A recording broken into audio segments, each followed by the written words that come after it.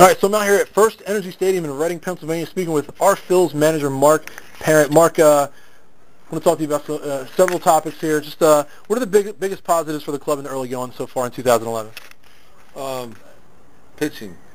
Our pitching's been very good. Um, starting bullpen's been unbelievable. Lamont's been doing well. The fresh is, is coming around. Uh, everybody's chipped in. Cisco and long relief's been good. And then you go on to Zeid, who's uh, figuring out. J.C. Ramirez has done outstanding. Uh, Hyatt's been good. Everybody's been good. And then offensively, uh, Overbeck's done a fabulous job. Rizzotti started off very well. He's hit a little road, uh, little pothole or two, and then um, the defense is infield defense has been really good with Galvis. He's played he's played really well. Speaking of uh, Freddy, he, he's well regarded for his defense all all around, and uh, you know, kind of has a reputation for not being so so hot with the stick. Although he's been p- performing, despite that, pretty well offensively this season. Just talk about Freddy a little bit. Well, we put him up. Uh, he, he, well, first of all, let's go back. He, he spent the offseason trying to get stronger, and it's really showed up in his defense with his arm.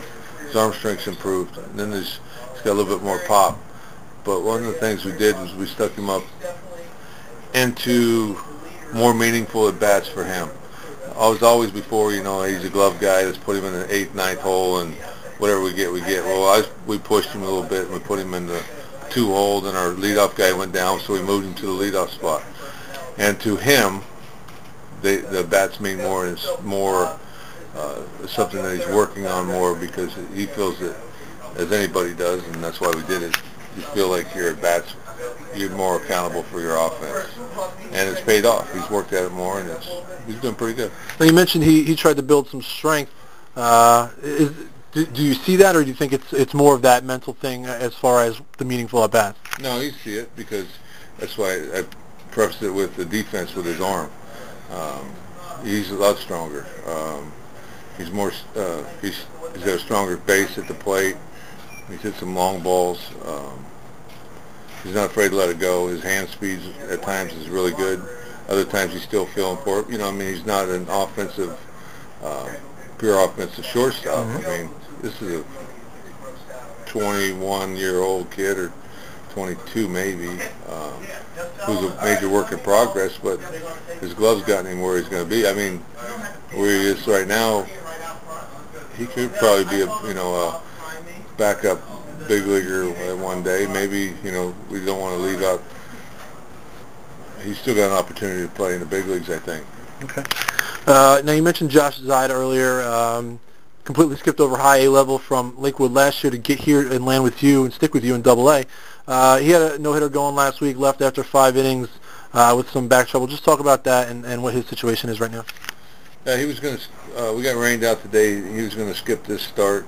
Uh, he'd been a little sick and his and he didn't. Uh, he was in some coughing. He was doing a lot of coughing, and it hurt his back somehow. Uh, I've heard it and seen it done mm-hmm. many times.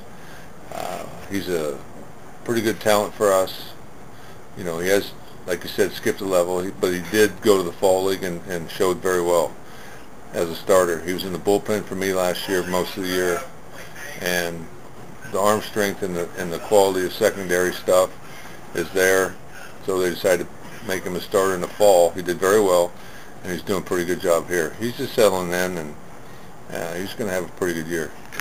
Talk about guys like uh, Rizzotti and Cody Overbeck in your lineup. They've pretty much, you know, put themselves out there as, as leaders uh, of this offense and just really, you know, uh, exploded offensively this season. Just talk about those guys and, uh, you know, how they've become the premier hitters on this team.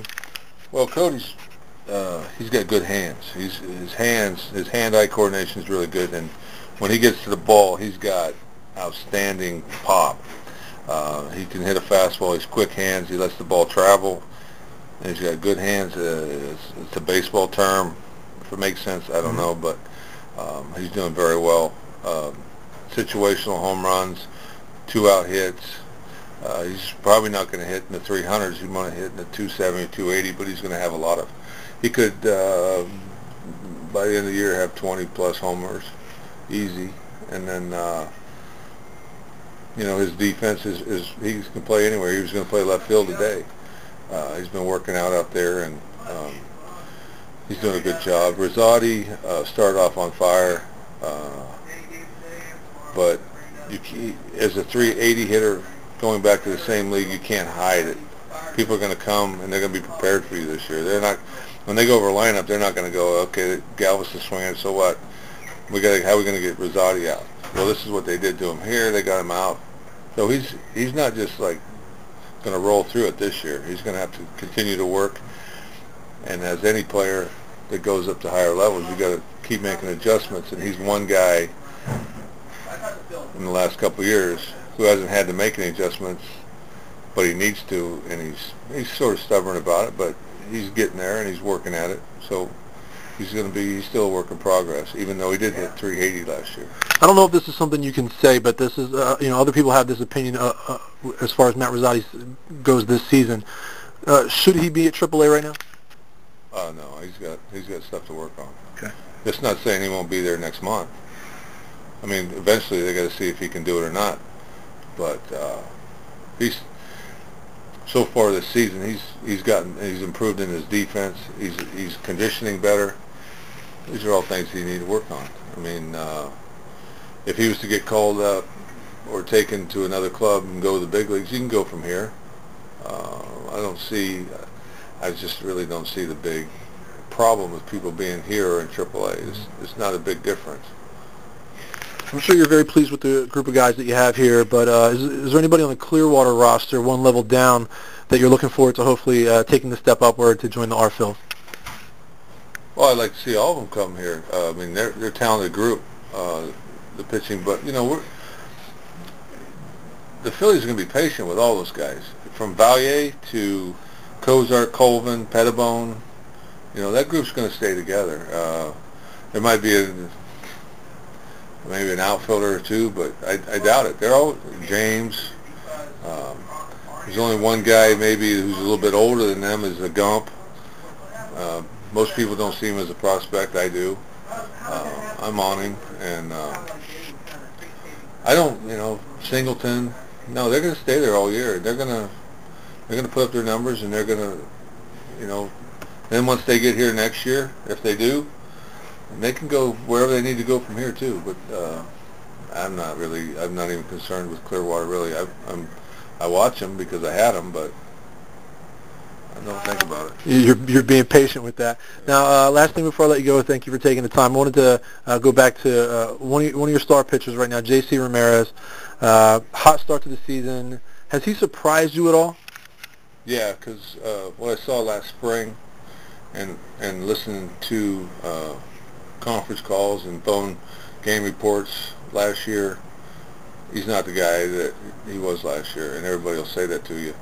He's um, he's a happier guy. He means business. Uh, he wants to play in the upper level, uh, major leagues. He's doing everything. He's taking care of his body, his hips. He had surgery on his hip. He's he feels renewed, but he's not taking it for granted. He's going and doing all his workouts. Uh, he's doing his English classes. He's doing everything that they're asking him to do, and he's smiling through the whole thing and doing well. Granted, his fastball is good. He can, he can light it up 95, 96 at times. Um, needs to work on his secondary stuff, slider mostly, and uh, so he can get. As you notice, he, he didn't have more than one strikeout for his like first three or four starts, and then he broke out one day with a good slider. It's coming around. It just needs to continue to come around uh, to get up to the next level. But he's certainly a guy for me that uh, can play in the big leagues, and you know what? He's just shown that he wants to. Okay, that's got.